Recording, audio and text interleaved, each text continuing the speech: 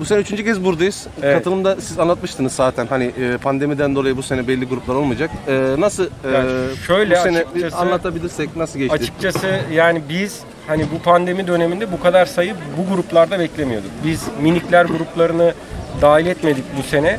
Ee, ama yine de 500 e, 496 idi en son 500'e e, yakın bir kayıt var. E, geçen sene bu grupların toplam sayısı 300'dü. Yani bu katılan grupların sayısı geçen sene dediğim 2019 yılında. Şu anda gördüğünüz gibi parkurda bir değişiklik de yaptık. Çünkü her geçen gün sayımız artıyor.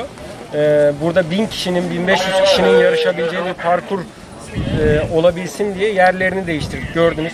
Daha açık bir meydana getirdik. Burası çok daha güzel oldu. Sporcular da çok memnun oldular.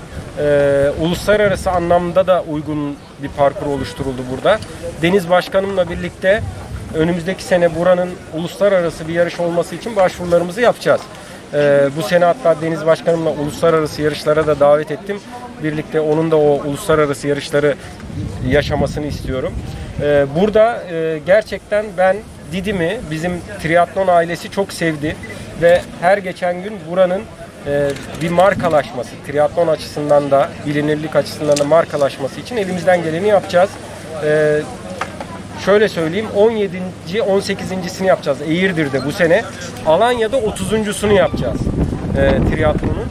Didim'in de böyle bir bizim için e, devamlı olan kurumsallığı oturmuş bir organizasyon olmasını istiyoruz. O noktalarda da geldi zaten. Üçüncüsünü yapıyoruz. E, hem belediye hem kaymakamlığımız hem de bizler hem de triatlon ailemiz burada olmaktan çok mutluyuz. Ee, biraz önce de bahsettiğim gibi e, 2019 yılında Yıldız Erkekler'de 28 sporcu varken burada 52 sporcu var bu sene. Pandemi olmasına rağmen. Ee, kızlarda 10 sporcumuz varken bugün 32 sporcumuz var. Yani çok ciddi bir artış var e, potansiyelde de.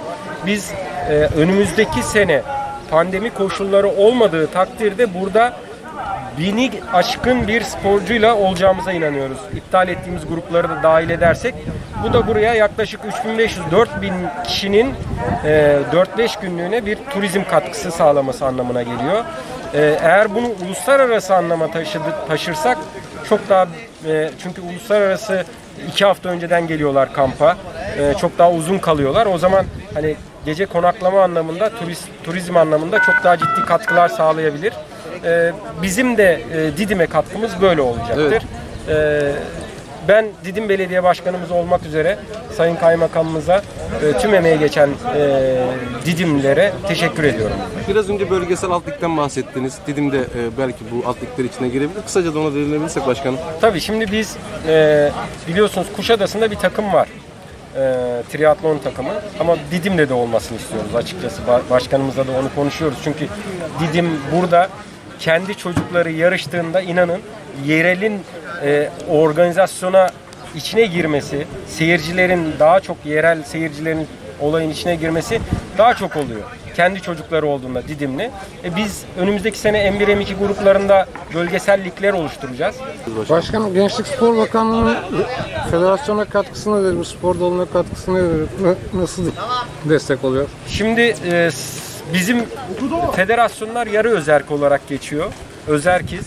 E, fakat sponsorluk e, bizde Türkiye'de çok gelişmiş değil.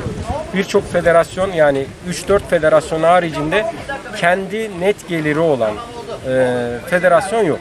Mesela Sualtı Sporları Federasyonu dalış belgelerinden bir gelir elde ediyor. Dalış ve can kurtarma belgelerinden çok ciddi bir gelir. Triatlon branşının bu tarz bir geliri yok. Bütçemizi hala biz bakanlıktan alıyoruz. Tabii ki sponsorluk gelirlerimiz var ama yeterli değil. Bakanlığımız da sağ olsun biz geldiğimizde çok cüzi bir bütçemiz vardı ve 2 milyona yakın borcumuz vardı. Bakanımız bizi e, hem bakanım, bakanımız hem genel müdürümüz hem spor toto başkanımız çok ciddi destekler verdiler. Pardon. Yaklaşık 2 milyon borcumuzu bitirdik. E, ve şu anda bütçemizde bizim geldiğimizin 4 misli. Yani e, bütçemiz tamamen şeyden geliyor. Bakanlıktan Spor Toto Teşkilatı üzerinden geliyor. Teşekkür ederim. Federasyon başkanımıza katılımın pandemiye rağmen çok iyi olduğunu söyledi. Evet. E, uluslararası yarışlara hazır bir hale getirmek istiyordu Didim'i. Neler söyleyeceksiniz bu seneki yarışlarla ilgili? Evet Sayın Başkanımız tamamen bir durum değerlendirmesi yapmış. Gerçekten e, ara vermiş olmamıza rağmen pandemiden dolayı katılım gayet iyi, organizasyon mükemmel, teknik anlamda da mükemmel. E, tümüyle mükemmel bir organizasyon yapıyoruz. E, evet ben ilk günden beridir söylüyorum, ilk düzenlediğimiz yarıştan sonra da söylemiştim. Didim bunu coğrafyasıyla, fiziki yapısıyla, olaya verdiğimiz önemle, olayı kavramamızın yüksek noktasıyla hak ediyor. Ee, biz bunu uluslararası düzeyde Didim'e getirmek mecburiyetindeyiz ve getireceğiz. Sayın Federasyon Başkanımızla da görüştük. İnşallah e, önümüzdeki yıl veya bir sonraki yıl hiç önemli değil ama bir şampiyonun Avrupa şampiyonasının bir ayağını muhakkak Didim'e taşımak buradaki halkımıza bu keyfi tattırmak istiyoruz. Siz, siz nasıl buldunuz başkanım bu senenin katılımı? Gayet güzel. Geçen sene yani son yaptığımız e, yarışmaya göre katılım çok daha fazla. E, sporcular gayet e, parkurları çok iyi buldukları için hepsi azimli, istekli. E, federasyon çalışmalarımız, çalışanlarımız gayet olumlu, e, her şeye sahip çıkıyorlar. Ben özellikle bizim arkadaşlarımıza çok teşekkür ediyorum. Didim Belediyesi'nin ekibine günlerdir özveriyle çalışıyorlar. Her şeyi saati saatine, sahnesi sahnesine yapmaya çalışıyorlar. E, hepsi büyük bir gayret içerisinde. Sizler de görüyorsunuz. Biz ekip olarak hangi organizasyon olursa olsun, Yazarlar Festivali, Vegan Festivali, Triathlon, e, işte arabalı sinema yaptık biliyorsunuz bu kapalı günlerde.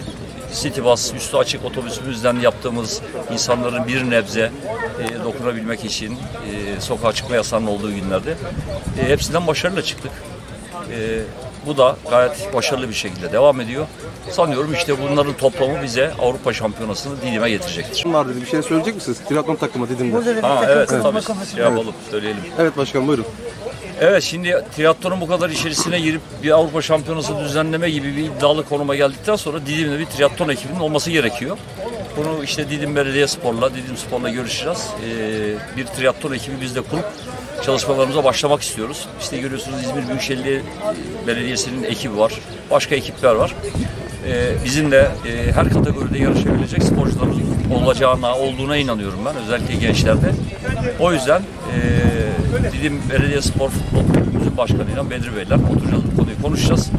Taslak hazırlayıp federasyonla görüştükten sonra gerekli detayları öğrenip ona göre çalışmalarımıza başlayacağız. Teşekkür ederiz başkanım.